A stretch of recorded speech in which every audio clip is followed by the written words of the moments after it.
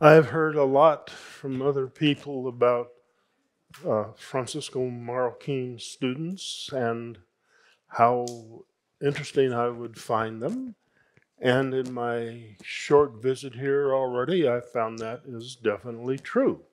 That I've already had conversations with a good number of you, and along with faculty, and I have been highly interested and highly pleased. And for I was asked to present make one presentation for economics students and one for non-economic students. I did the presentation for non-economic students yesterday afternoon, and now I'm doing the presentation for economic students. They might wonder about this title, How One Principle Begat Two Disciplines. Well, I'm here in a way to tell you how fortunate and blessed you are to be economics students. Because as being an economics student, you master two disciplines for the price of one. You can't dispute the value of that, I should hope.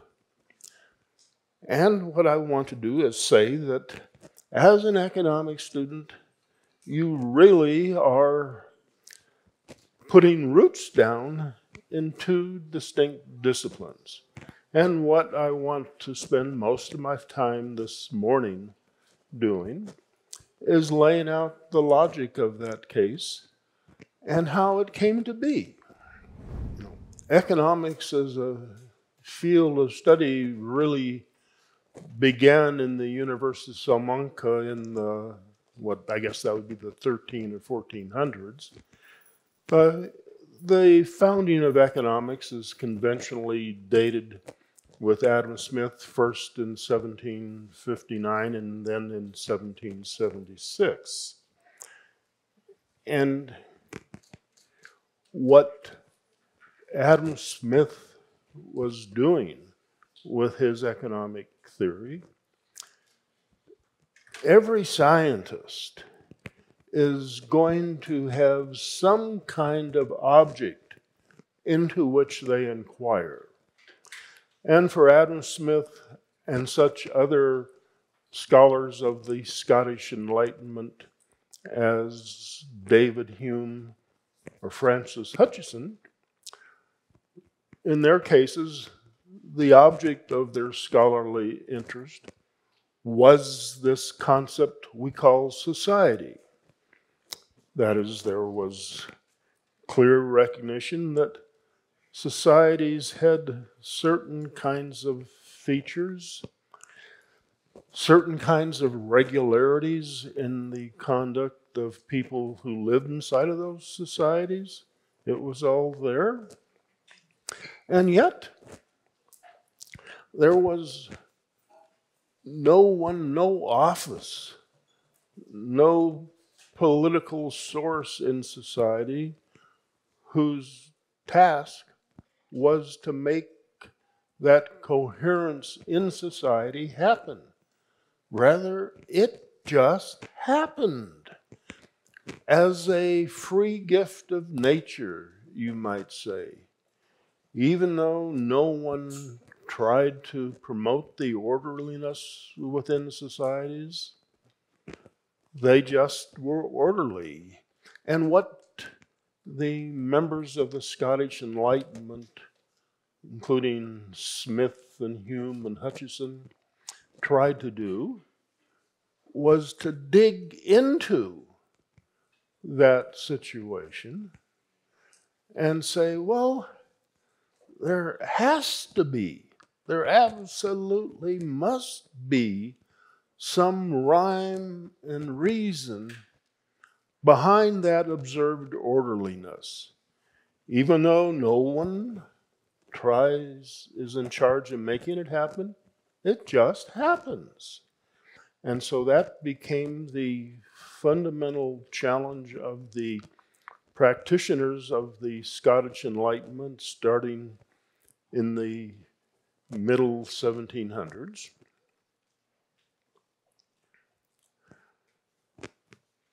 And so, what you have there, you ask what kind of a discipline was the work on political economy by the Scottish Enlightenment? You say it was the field of study was what was at the time referred to as political economy.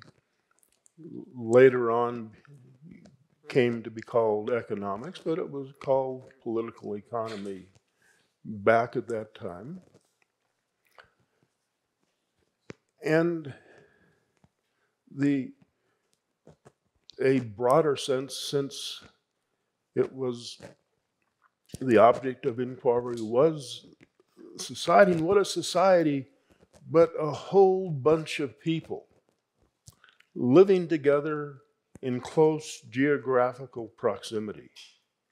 We're not, we're not pack animals after the fashion of wolves or chimpanzees or dogs or any of these things, but we are similar we are one of the higher mammals. And higher mammals live together. There are regularities that they face in the living together. There is leadership that exists within the higher mammals. From time to time, there arises controversies among those mammals over matters of leadership. it wouldn't be going too far afield, at least according to my kind of oh semi-economic imperialism, to say that economics after the fashion of Smith, Hume, Hutcheson and company was alternative a, as a theory of society one name we apply to the idea of a theory of society is sociology. That, of course, is a term came much later than economics or political economy. But that's one uh, sketch. Now, if what you have then is and this came to be called invisible hand theorizing, spontaneous order theorizing. I've sometimes referred to it as iceberg theorizing. Why would I want to use the term iceberg theorizing? Well, maybe because I want to use something different. You know, all of us in academic life from time to time would like to see if we can come up with different kinds of formulations. And what I like about the image of iceberg theorizing is that an, for an iceberg, somewhere around 90% of the surface of an iceberg is below water, of, of the ice in the iceberg is below water. So then to theorize about, if you're going to theorize about what happens on the surface of an iceberg, most of what's going on in that iceberg will be invisible. It will be below water. As the name Invisible Hand theorizing describes. Now, economics changed after Smith and Hume and Company in the 19 excuse me in the 1870s between uh, William Stanley Jevons and Carl Menger there developed an alternative approach to economizing action. The the Smith, Hume, and Company took as a universal principle the idea that humans were economizing creatures. What does it mean to be an economizing creature? Well, it means simply that you have, everyone has plans, desires, aspirations uh, of various sorts. And in with those desires and aspirations, as well as potentially conflicts among those aspirations, each of us faces the challenge of doing the best we can with our aspirations. That later on in the 1870s started to be called utility maximization. But this title of mine of two disciplines with one principle, if you look at in 1870, there was a, at the time, a subtle change in how economists perceived their theoretical efforts. The that is what had happened was economists discovered the ability to adapt formulations from the differential calculus into economics. You surely have all heard that kind of aphorism. If the only tool you had was a hammer, would not everything you come across be a nail? Because all you could do was pound it. And this is something that is worthwhile pondering a little bit, and I shall do so a little bit, which is suppose you were to look into the economics of developing economic theory. So, usually economists talk about applying their principles to other people. So, you have constructions of such things as consumers as trying to maximize utilities. So, you have an analysis that proceeds in terms of postulating utility functions postulating prices, postulating an objective function. You stick it all together, and within the framework of the calculus of maxima and minima, you get uh, sufficient conditions for maximizing utility functions. It, it comes out of that uh, straightforward and, and simple.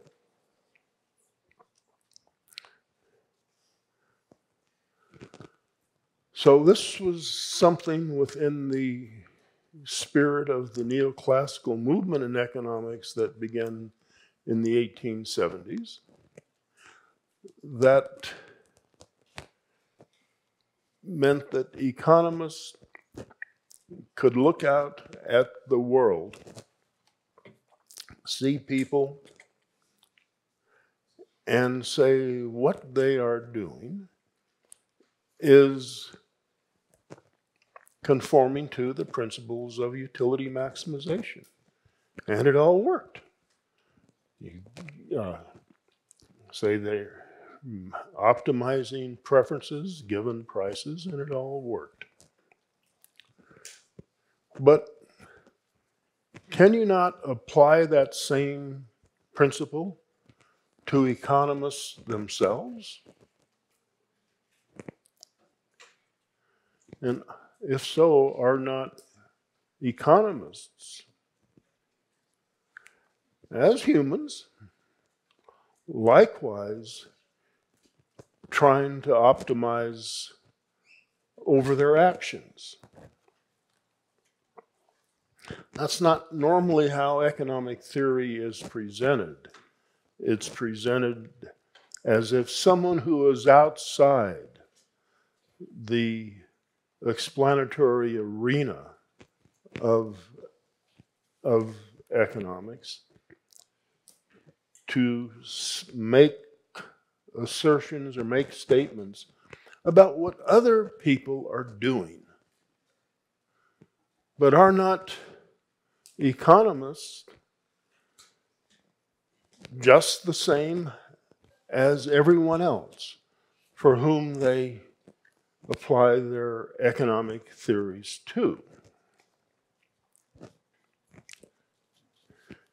Now, often, if ever you like to amuse yourselves, find yourself wanting to amuse yourselves, and one interesting way of doing so is trying to invert certain kinds of very standard presuppositions and see where that inversion may get you because there is a very fundamental analytical principle out there called the methodology of scientific research programs.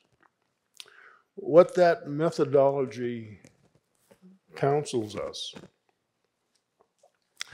is the fundamental recognition that we can't reason about anything without embracing some pre analytical presuppositions that provides a background against which we can proceed with our analysis. So we have, on the one hand, an idea of when you're studying economics, you're trying to learn something about the properties of different kinds of societies, what they're like to, in, to live inside of those different societies, and how it is that the application of power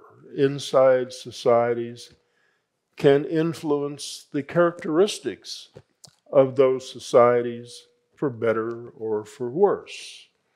Just to think of, you know, common European examples, which I'm more conversant with than Latin American examples that you had in the late 18th century a fairly, fairly peaceful European continent. Uh, then over the early 19th, middle 19th, uh, you had the collapse of Habsburg, the uh, Russian Revolution, uh, German Nazism, and so forth. And in a very short time, that world was turned inside out, upside down, or wherever you think about it as turning. But how might economists go about explaining that? Uh, because most economic reasoning is of a sort that posits a system existing in a state of equilibrium until, and that equilibrium persists until that balance is upset by some kind of exogenous force that appears on the scene. And once you have the exogenous force, it does such things as alter relations of production, alters relations of demand, and preceding market equilibria don't work. They're changed, but change comes from outside. But I'd ask you,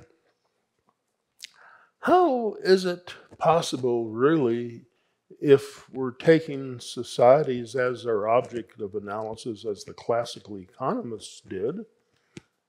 You can't have any exogenous shock because everything that happens happens because of some peop- set, some person or set of people taking actions that upset various kinds of relationships among people who constitute that society. And so, what the classical economist had was a scheme of analysis where societies were networks of human relationships. Uh, those relationships fundamentally put together within the principles of private property and freedom of contract. And people within those principles could take widely different actions, and the features of that society would be generated through the actions of people in conducting their lives. The economic world, the world of economic theory, changed quite significantly when the classical economists, led by Smith's two big books of the theory of moral sentiments and the wealth of nations, gave way to the coming of, Car- of uh, William Stanley Jevons and Leon Walras. I'm going to leave Carl Menger out because he wasn't really, I'll come back to that, because he wasn't really within this neoclassical mode of thinking. But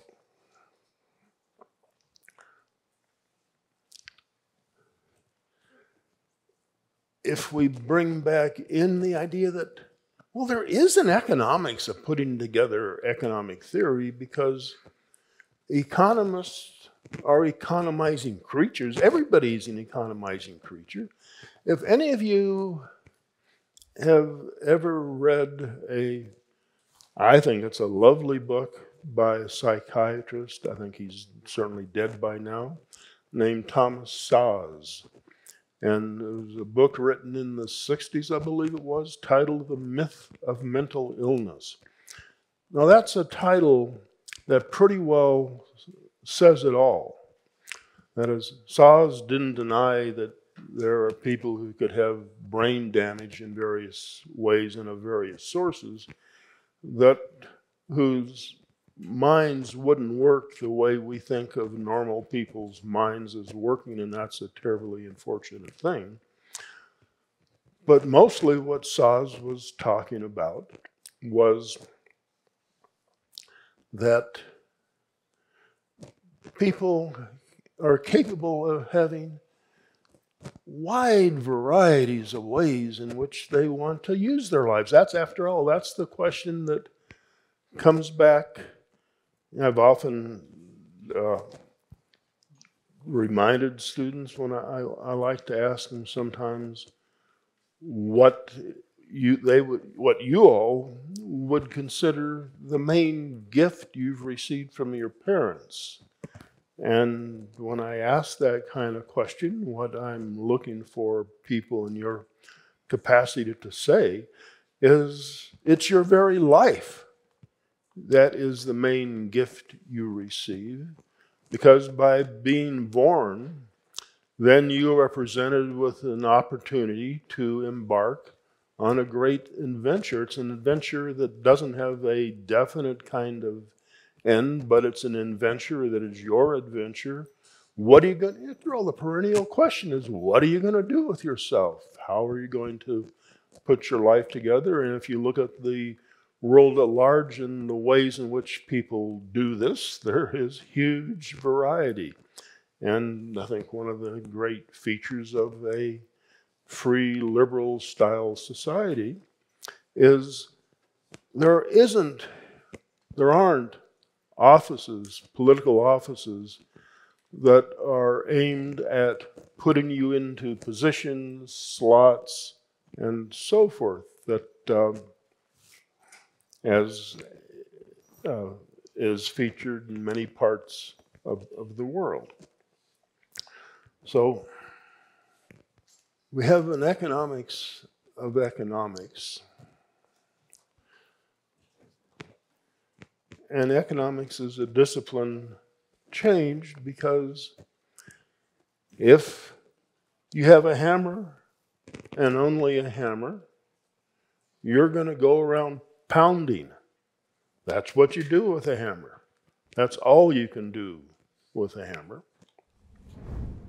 That wasn't what Adam Smith and the other classicals did with economics. They sought to dig into the various sources of the coherence that arose within societies because societies were not an object that someone made or created, but were an object that is continually evolving and emerging. And how it evolves and how it emerges depends in all kinds of ways, in part, on what people determine they would like to do by way of conducting themselves in lives, and also in part by such things as the developments of new knowledge, new technology, and these things also change uh, what we do, uh, and all of which have to be taken into effect. And in this case, economics say, I promise you, you have two disciplines, and you do. You have, as a theory of society, what the classical economists starting with Adam Smith, suggest that you can do is dig more deeply into all of the features of the moral attitudes and the actions that people take inside a society because the basic idea of the invisible hand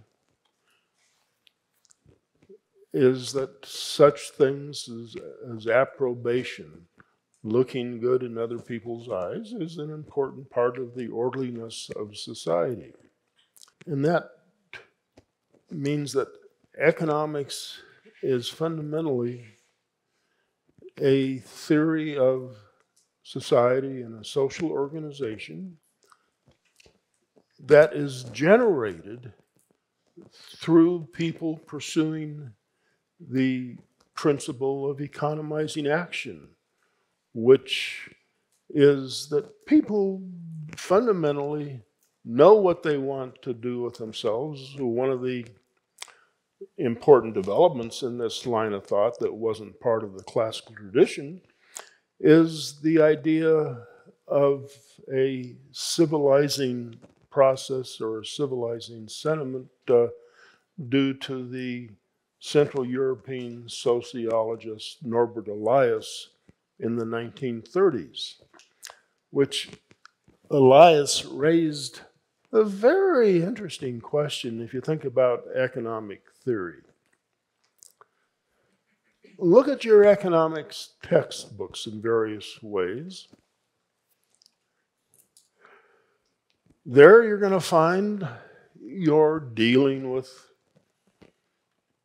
say consumers and producers. What kinds of people are these? Well, presumably they're adults who know what they want to do, and they're going to go about doing it. They're, they're settled into what they're doing as adults. And that's where you get, you know, utility functions, a function of X, Y, Z, production functions, so forth and so on. These are, this describes a world of adults who are settled in what they're trying to accomplish and they have to work it out in conjunction with making trades that other people are willing to participate in. This is, this is the basic kind of, of social framework behind economic theory. But what does that leave out? Well, everybody who's not an adult, of which there are many. You all are in the, certainly at the tail end leaving childhood behind, entering upon the adult world, uh, probably 99.99% there, whatever. I don't going to make any judgment on that character, but you've you have been going through a civilizing process.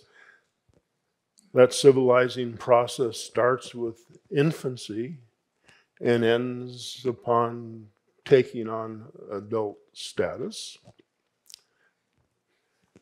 Now, what goes on in that civilizing process is something economists ignore because they don't need it, because they simply assume that economic equilibrium is a condition that pertains to the trades and transactions that adults make consistent with a system in a state of equilibrium.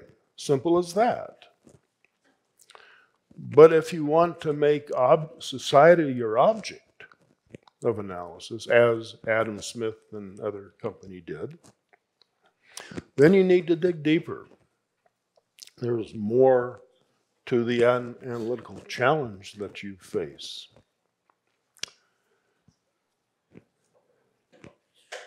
Because then you necessarily have to get involved in questions of what do and where do infants, what are the procedures by which infants take that walk into adulthood? And this is, of course, where parents come into play.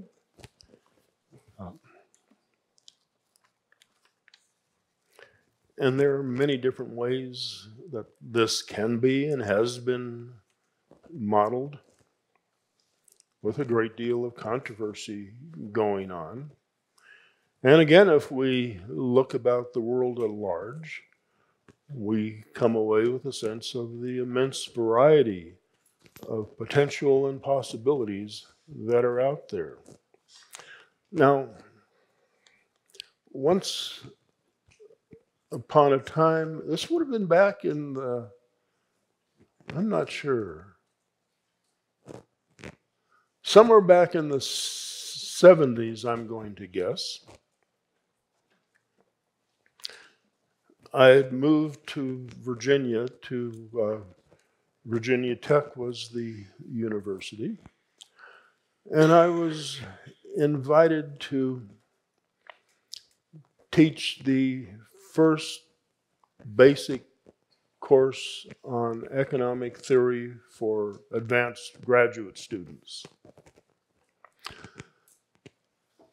So I was replacing someone who had left the university, and I was going to start teaching the economic theory and set the tone for how economic theory was, was treated.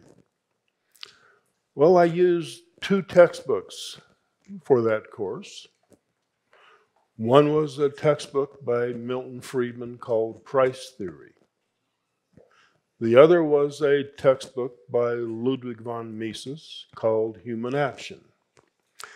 And I recall telling the students that some would ask, wow, those are such different books. And I say, yes, they are different books both interesting books, both with interesting lines of thought and formulations. And for the purposes of this class, I'm not going to make one uh, inferior to the other. They're just different. And I don't mind if each of you picks and chooses what you want if you go between the two. Any kind of convex combination you take of those two is going to stand you in a good position with respect to your understanding of economic theory and how to uh, go forward in a world of economic theory. Ongoing and continually developing questions that then comes up is with the world of economic theory of Milton Friedman, neoclassical economics, if you have a framework that reduces a economic system to a state of equilibrium, think for a moment about what you have in front of you. And will you not see that you can? Why do you need to have millions and millions of people implicitly in your model when you can get by with taking an average of all of them? You can get by with constructing a representative individual who, by taking a single representative individual and multiplying by n, you can generate all the national income statistics from it. And that's one path that economic analysis takes. Another type of analysis, one based on the ideas of more recent development, referred to as systems theory, says that we all exist inside systems of human relationships. Now, how do we think about systems of human relationships? Well, one significant technique for doing that is what is called graph theory. Now, with graph theory, if you all were to take and just draw a, few circles on your paper and then draw some lines connecting circles, what you have, you say those circles might be people the lines might be transactions between or among the people. Uh, circles could be businesses. Could be, but the point being that the society is a, a particular type of pattern of human relationship of parts to whole. That there are however many parts there are in the population, plus the enterprises in society. And in some way or another, it's the interaction amongst those parts that are going to generate what we call now as systemic qualities to those uh, parts. And if we try to recur to the classical economist as I and von Mises as I've been doing, then you realize that the social world has many different kinds of social systems of human interaction. Uh, uh, some are relatively free market, some are not. Some of my favorite economists who have theorized about systems are Italians, and I will say a, a, few words about them and then I'll come to a close.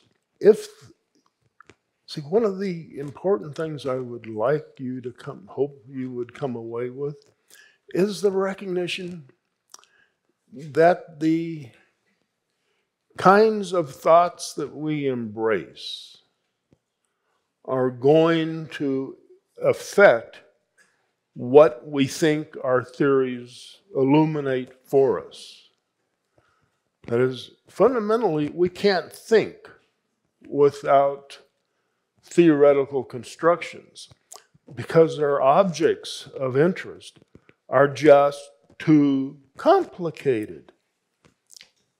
None of you, not me, has ever seen this object we call a society, a, a government. I mean, you can talk about parliamentary buildings and so forth, but our objects are constructed through theoretical efforts to reduce the society to manageable analytical terms. Now, some of those reductions might work decently well, but some don't. And in any case, all of those reductions are going to push your thought in one direction or another, and it may be in a direction that you don't want to go. For instance, if you work with a model of society in a state of equilibrium, you're going to have to work with a representative agent. There's going to be no transactions taking place in that model because the transactions have been worked out, prearranged as part of what allows the generation of a representative agent. Where if you think there is something important about the types and sources of transactions and change, you're going to have to have a world in which transactions occur. In modern macro theory, there are no transactions that occur. Transactions are behind the scene, are assumed away in generating the aggregative statistics. This is what I mean by saying that we all live in a world in which our the models with which we work are going to channel our thoughts in one fashion or another. And if you find you're uncomfortable with where your thinking is taking you, then the only option I think you have is to develop a different scheme of thought that because every analysis, every theory has both foreground and background.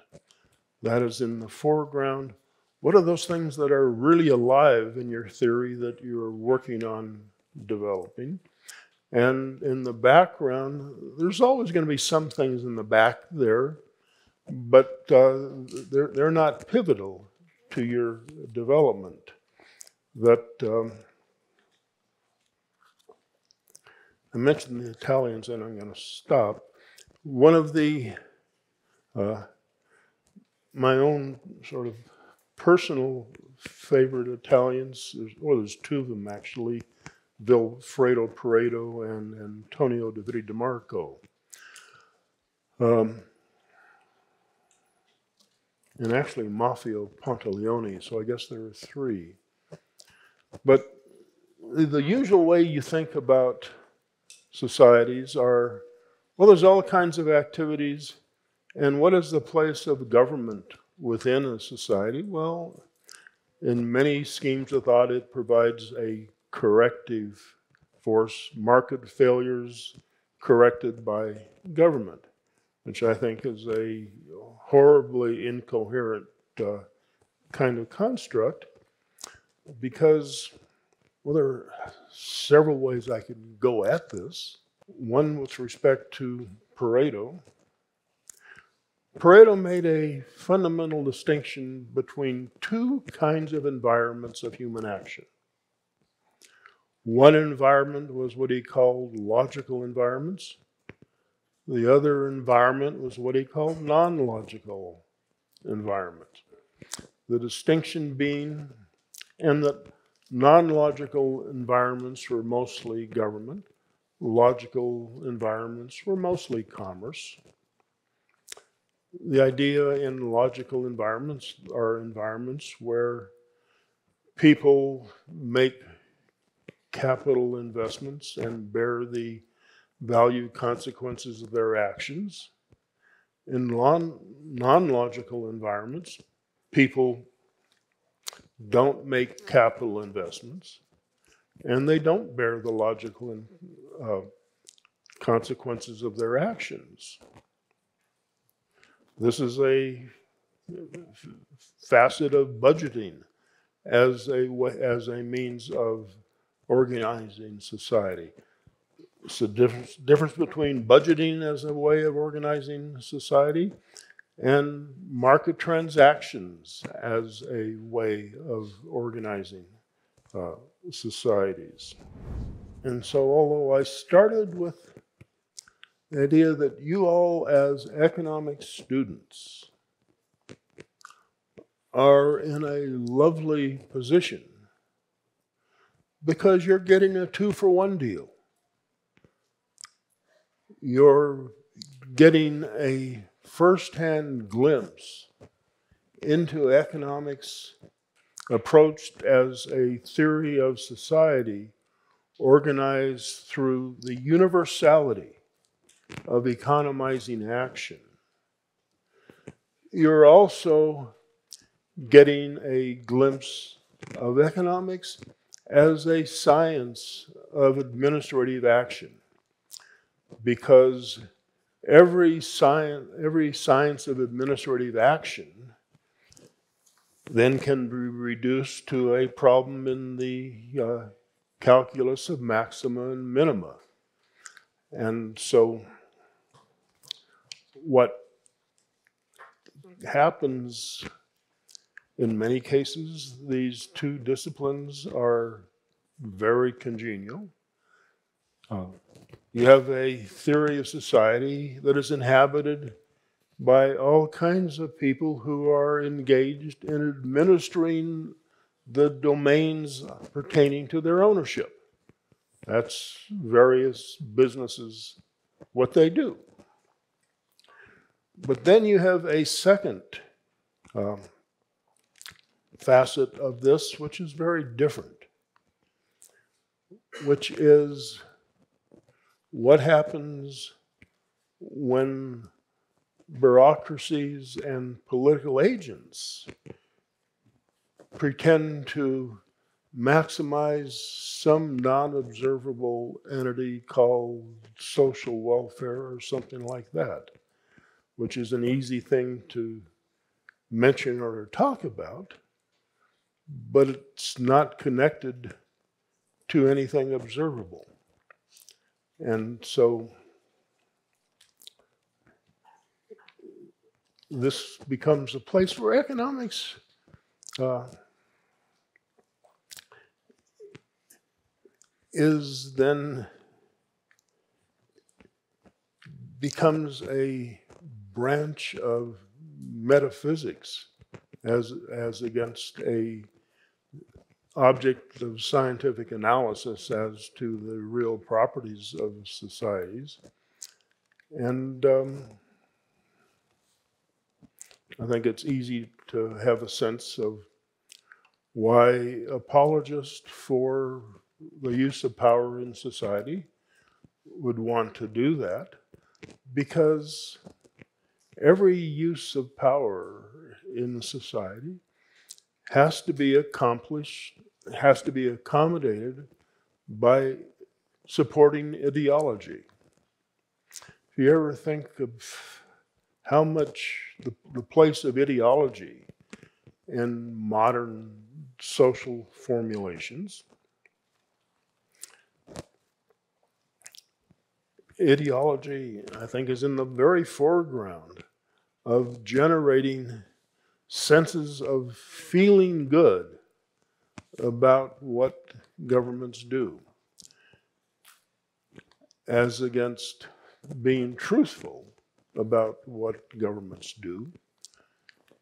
Consider one American example from the reign of President Obama 10 or so years ago. One of his major pieces of legislation that he got enacted was what he called the Affordable Care Act. Now, you ask, how can government regulation make health care less expensive? The answer, obvious answer is, of course, it can't. There's nothing in regulation that's going to contribute to that, nothing whatsoever. Rather, what does make it less expensive for some people, perhaps, while also making it more expensive for other people. That's a feature of all legislation, has this feature that within the theory of coalitions, that there are going to be beneficiaries who are going to get gains financed by costs imposed on the rest of society. That's, that's a simple matter of the theory of political coalitions. But if you were to say, well, we're going to pass this law even though it's going to cost more, many of you, something to enact it, that's going to probably generate a lot of opposition. So you have to take a different tact, which would be to say that this is an act that is going to provide social benefits that exceed the cost. Now, what are those benefits and how can you measure them? No one can tell you how to do so, but at the same time, it's a complex question that no one can uh, totally determine and know anyway. And so that's why you find so much ideology taking place in political activity that amounts to the pushing of what can't possibly be so because you have to have an ideology to, I think, make sense of the activities that are being uh, organized through, often organized through political channels.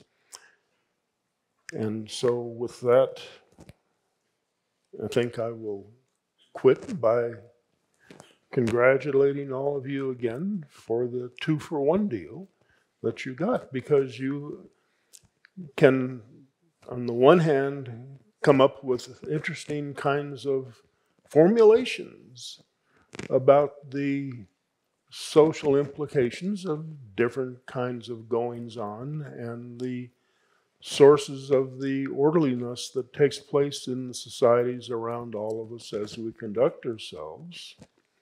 And at the same time, you can apply a vocabulary of maxima and minima to the extent you choose to, uh, to the extent that does you some good. So with that, I, again, I congratulate you and thank you.